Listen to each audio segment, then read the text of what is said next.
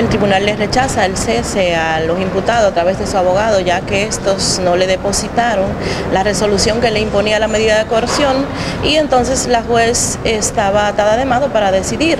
Entonces fue rechazado dicho cese y se le ratificó la prisión preventiva. ¿Cuándo estará iniciando?